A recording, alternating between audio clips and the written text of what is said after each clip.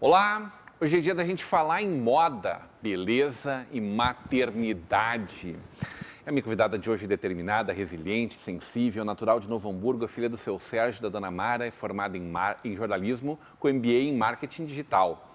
Aliás, a esposa do Moisés utiliza muito bem de sua formação o seu dia a dia. Afinal, quem conhece a mãe do Moisés Júnior da Vitória sabe que a comunicação e o marketing digital fazem parte da sua vida, não é de hoje. Além disso, a moda também é uma de suas paixões e sempre esteve muito presente em sua essência, seja pelo bom gosto e feeling para tendências ou por seu trabalho como personal stylist. Hoje teremos uma conversa de peso com Cíntia Rezende Quaresma.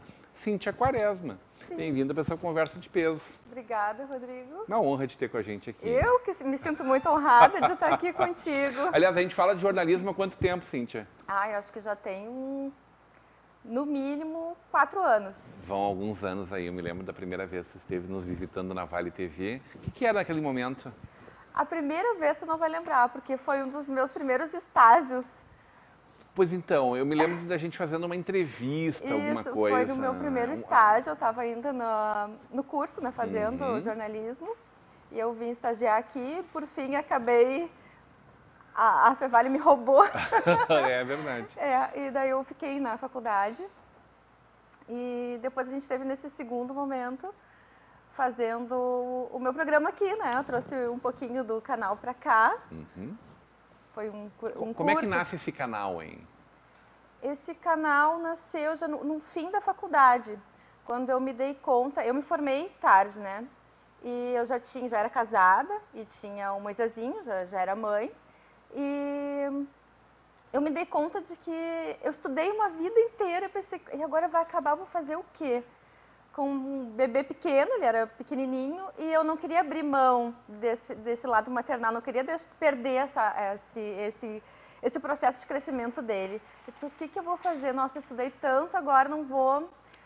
Aí eu me deu um start, ainda estava surgindo, não era esse boom que é hoje, a internet ainda estava surgindo, e eu pensei, vou fazer um vlog vou criar um vlog, vou tentar trabalhar, né, exercer a comunicação, que é a minha paixão, uh, e ainda tendo esse, esse, esse tempo com ele, né, de acompanhar o crescimento do Moisésinho, de ser mãe, né, e ainda...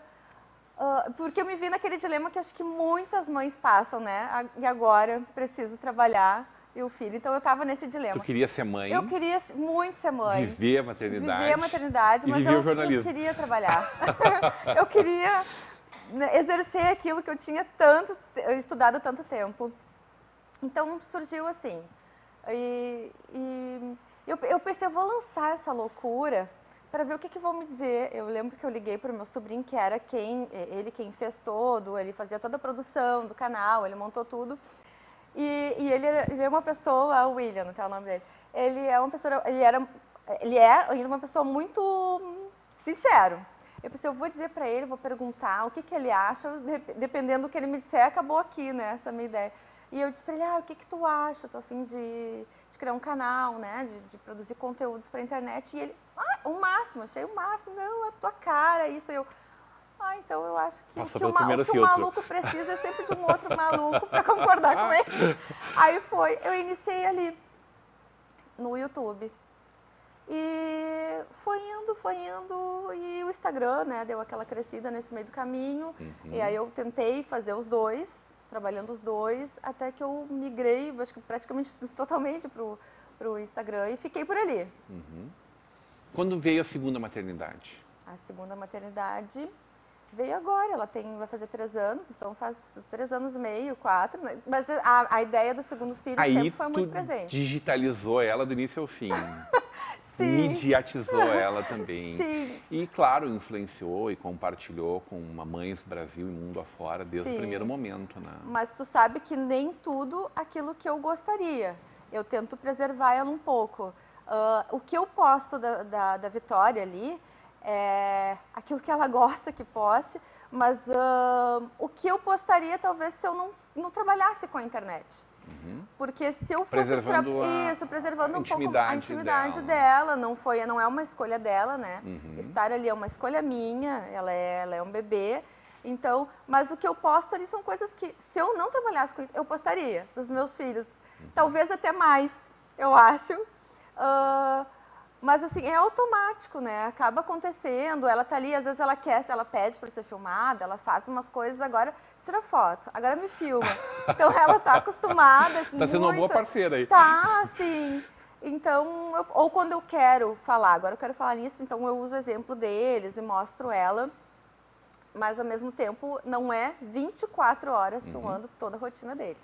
Eu tento preservar isso um pouco. Que é uma, um, um, pouco do que algumas, algumas pessoas fazem, né? De ficar em cima o tempo todo. Isso, é. O teu canal nos propõe exatamente a ser só um canal da maternidade, na não, verdade, né? Ele é uma das tuas facetas, é, mãe. É, uma, é um dos meus nichos, né? Quem, quem é que te inspirou, assim, quando tu enxergou essa potencial e tu foi estudar um pouco do que estava sendo feito mundo afora?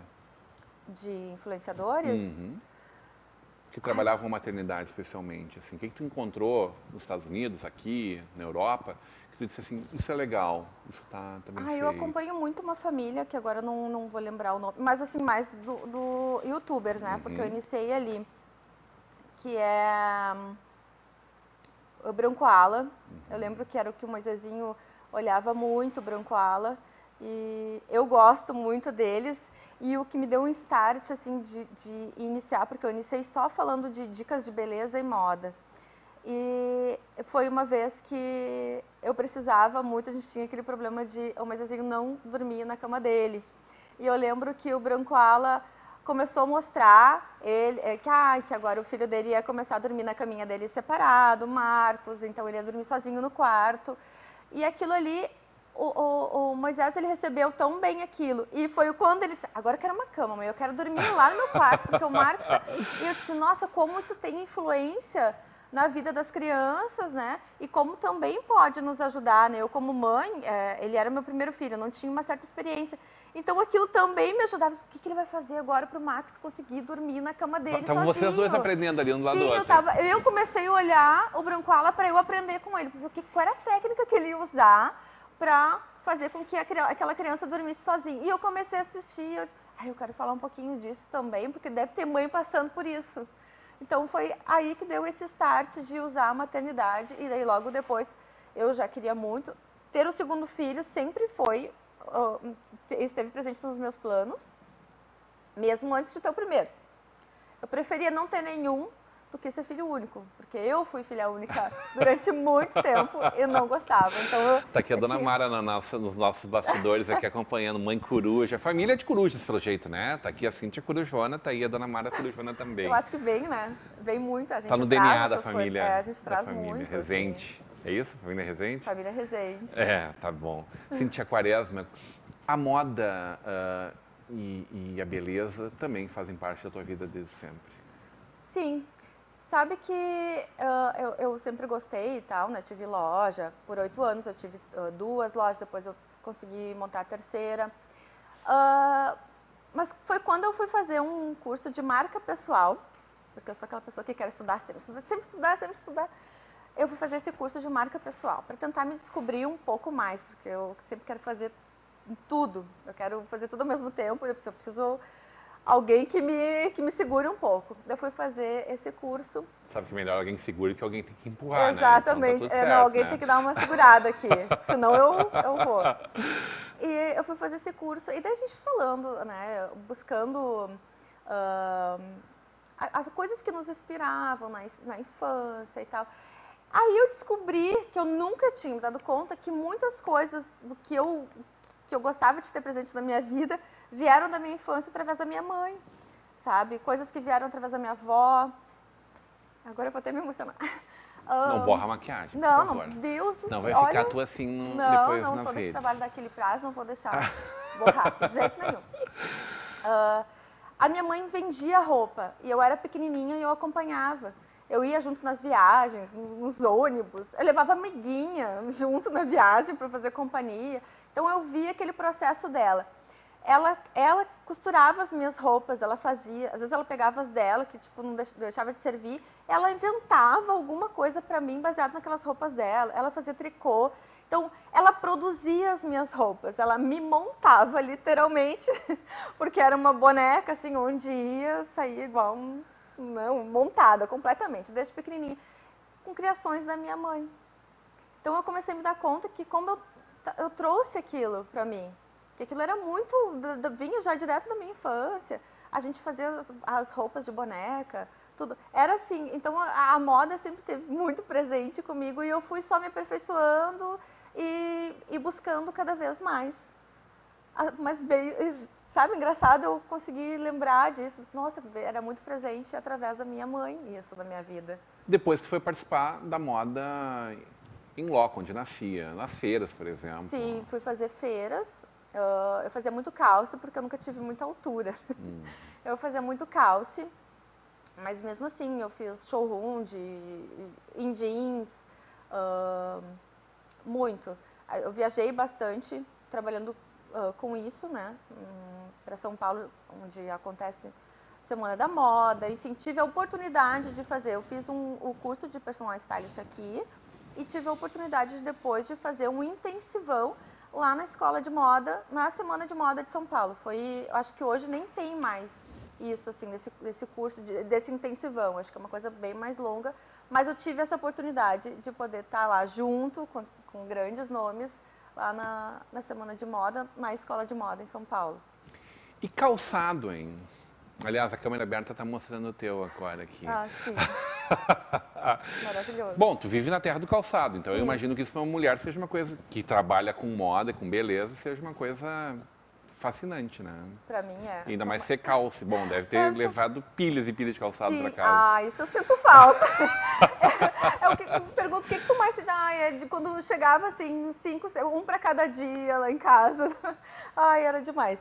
Mas uh, eu sou uma centopeia. Eu acho que o look, eu monto o look através do sapato. A partir dele? Eu come... É, eu penso no sapato e depois no resto. Então, vamos falar que looks são esses? Como é que tu leva a moda para as pessoas que te acompanham no teu canal? Na volta do intervalo. Hoje numa conversa de peso com Cíntia Quaresma.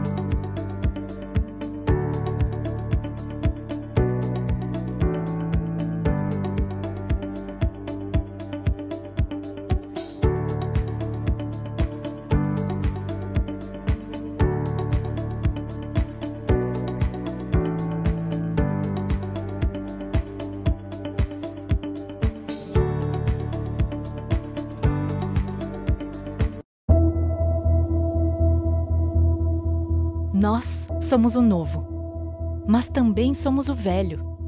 Somos ambos porque assim podemos complementar ideias e ressignificar conceitos. A gente é uma colagem de momentos. O encontro do velho com o novo gera a redescoberta, a reinvenção e a ressignificação. E a nossa vida está cercada de repetições são situações passadas que ganham um novo sentido hoje. As necessidades não mudam, mas a forma de consumir. É tudo novo de novo.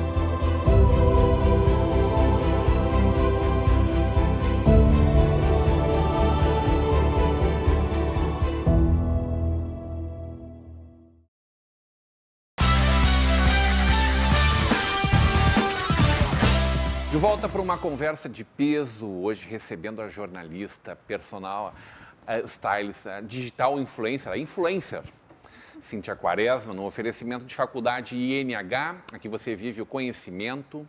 Cicred, juntos construímos comunidades melhores, Mercator, feiras e eventos. Olha o calçado aí, dona Cíntia. A gente tem um encontro marcado de 15 a 17 de novembro no Serra Parque em Gramado. Hum, hum, é, é, a Zero Grau é a feira que congrega é, o calçado em todo o Brasil. Agora, 15 a 17 de novembro. E o apoio de Locofer, fechaduras e acessórios. Eu falava contigo um pouquinho antes da gente sair do primeiro bloco, terminar essa primeira, primeira parte da nossa conversa, sobre as ferramentas que hoje tu utiliza né, para conversar com o teu público. Essencialmente o Instagram é esse espaço que agrega muito a imagem, né? É, claro que o vídeo ainda é muito YouTube, mas cada vez mais o Insta também contendo vídeos curtos. Os stories são esse fenômeno fantástico, né? De comunicação Sim, rápido. rápida, né? Instantânea praticamente, né? Uh, e é o teu canal preferido hoje de conversar com as pessoas que te acompanham, né? É o principal. Como é que tu conversa com essas pessoas hoje? Tu ajuda elas em quê?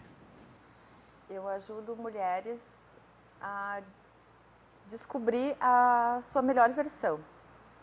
Eu acho que todas nós uh, temos muitas, muitas coisas boas e às vezes às está escondidinho ali ou reprimido, uh, a pessoa ainda não, não se abriu para isso. Então é onde eu uso das minhas, das minhas dores, das minhas angústias um, e divido isso com as pessoas para se descobrir. Porque eu fui, eu fui a, a, a menina, eu fui a magricelinha que vivia de vitamina para engordar. Depois acho que todas as vitaminas fizeram efeito. e, e daí eu engordei, então eu fui adolescente gordinha, eu tinha os dentinhos separados. Então, eu passei por várias etapas da minha vida e todas elas tinham um significado muito forte em mim. Assim, de trazer. Ah, eu acho que eu nunca vou ser a, a bonita da turma, eu nunca vou. Então, e quando a gente vai assim, não, mas eu posso ser, né? A gente resolve, a gente pode res resolver um monte de coisa. A gente resolve peso, a gente resolve os dentinhos, a gente resolve cabelo. A gente tem que cuidar mesmo da alma da gente, da personalidade, do caráter né? Porque a imagem a gente constrói baseado naquilo, na tua essência. A gente tem que é cuidar da alma da gente. E às vezes tá tudo ali reprimido, tá? A gente fica se menosprezando, a gente se auto-sabota o tempo todo. Né? Por que, que eu tenho que ser a perfeitona? Por que, que eu, eu tenho Sendo que, que nem ser? existe essa perfeição, Não existe né? isso, né? E a gente tem que cuidar muito. Eu sempre digo para as minhas seguidoras isso cuidem muito, mesmo com o Instagram, eu trabalho com isso, mas uh, cuidado, eu sempre digo, agora eu estou num processo de, de, querer emagrecer, que eu aumentei na pandemia. Acho que o mundo inteiro, o mundo inteiro aumentou na, na, pandemia, né? na pandemia, Então estou nessa porque eu acostumei a não fazer nada além de comer na pandemia. E é então bom, eu tô né? nessa. Que, né? E quando eu digo lá para as gurias, gurias, eu tô, tô aqui ó, correndo para chegar no verão porque eu quero emagrecer. Não, tá linda, onde emagrecer? Gurias, eu engordei 9 quilos. Não, mentira, tô te vendo aqui. Um ângulo bom, cuidem isso, o ângulo é bom, cuidem isso. Então, tem gente que tá lá sofrendo, ai, tô vendo a fulana ali como tá linda. Não, ela tá num ângulo bom, tu também pode estar nesse mesmo ângulo. Então, se a gente ficar lá chorando e se escondendo, o negócio só vai piorar. A gente só vai se afundar cada vez mais. Então, a melhor coisa quando tá, o que eu digo para elas, a melhor coisa quando tá naquele momento, hoje eu não tô bem, eu não tô me gostando, toma um banho. Toma um banho, faz uma maquiagem leve, qualquer coisa, arruma um cabelo, faz uma unha, que já vai, 80% já vai estar tá melhor. Como tu mescla é, esses três eixos de trabalho, de, de, de, de comunicação que tu tens, qual seja a beleza, né, uh, a moda e a maternidade. Eu acho que eu já nem sei mais pontuar. Eu acho Onde que eu já começa misturei, um e termina é, outro. Eu acho que eu já misturei tudo e eu não conseguiria falar de uma coisa só mais. Porque a maternidade é a minha rotina, né? Uhum. Então é automático. Daqui a pouco eu entro falando ali, ai, olha aqui, o menino que não sai mais desse videogame, e daí tem milhões de mães que se identificam, estou passando pelo mesmo processo. E daqui a pouco eu já tô gurias, esse tênis aqui é maravilhoso, é para quando a gente tem que carregar as crianças no colo, a gente sete tênisinho, bota qualquer, é, assim, então é automático. Já, eu, não, eu já nem sei mais como. Ah, tu tem um dia que tu fala disso? Não, eu nem sei mais. E como é que é entrar no ar uh, sem estar com o make bem resolvido, assim? Tipo, preciso falar isso agora e o make não é fechadinho, redondinho. Ah, o filtro? Filtro? Filtro. E eu acho. Eu de cara limpa, nem pensar? Não, eu entro várias vezes. Eu não sou essa pessoa, é, não. Eu não é. sou essa pessoa que. Ai, eu não vou. Deus do livre, não posso aparecer. Não. Eu geralmente. Tu mostra tu como tu é. É, eu mostro a minha realidade. Eu geralmente tô bagunçada. Quando eu tô arrumada, que gurias, prestem atenção agora que eu me arrumei. Porque eu sou eu. Eu não, não faço um tipo ali, sou eu. Eu entro para falar com o cabelinho aquele do coquezinho, aquele que a gente faz. O pessoal comenta muito, né? Bastante. E quem vai pro inbox, né, para mensagem privada, fala o que para ti? Conta os seus problemas. É, a, é o divã. É o divã. E eu vou te Como dizer... tu lida com isso? Com as coisas que são mais duras, assim, de aguentar e de né, suportar? É que eu, eu acho as pessoas Uh, a, Ou a pessoa só está ali para falar mesmo? Quando eu posto assim, por exemplo, ah, eu tô. Uh, ah, isso aqui é uma dieta e tal, tô fazendo, né, para emagrecer. Eu não costumo dar a dieta ou dar algum exercício, porque uhum. eu acho uhum. que isso eu deixo para os profissionais fazer. Perfeito. Acho muito importante Legal. isso. Uh, mas que a gente está falando sobre isso ali, alguém vem e desabafa, ah, tô, tô precisando muito, porque eu tô passando por isso. Ou quando eu posto um momento feliz, eu e meu marido, alguém coloca ali, ai que bom, porque aqui em casa tá assim, e daí começa a falar dos problemas que está passando. E, e daí que eu vejo e que a, que a vida é real para todo mundo, né? Uhum. Todo mundo passa pelos mesmos, os mesmos problemas. Sim, porque a gente não põe a foto que está voando alguma coisa para um lado pro outro. a gente não vai mostrar ali a briga, né? Aquele ódio do dia, né? Aquele dia que a gente sai, Deus, me dá paciência, porque se, der, se me der força, eu mato ele. Não, é, não é esse momento que a gente quer mostrar ali, né? A gente quer passar até para ser leve, né? É um entretenimento. As pessoas precisam ver coisas boas. E não é, ai, mostra só coisa boa por que, que eu vou mostrar só desgraça na internet? Eu uhum. quero mostrar coisas boas, porque eu sou daquela que a vida tem que ser mais leve, a gente tem que levar. A vida tem que ser mais leve, uma né? Uma vida mais leve, a gente tem que, sei lá, curtir. Ah, tá passando por uma dificuldade, mas é... a, gente, a gente fica melhor depois. Essa paixão pela vida tu chama de quê? É consciência, isso? É visão de mundo? Ai, eu acho que... Porque tu fala muito sobre isso, né? Eu falo porque... Da paixão pela vida, né? Do amar, da amar a vida? Porque eu acho que a melhor coisa que Deus fez pela gente é a vida. Uh, eu sou uma pessoa que eu não esperava... A maquiagem, a maquiagem, Olha a maquiagem, foca na maquiagem. Eu não... Um dia me foi dito que eu não teria filhos. Eu tive dois depois. Então eu fico pensando nas maravilhas que Deus fez por nós e o quanto a gente tem que aproveitar isso tudo.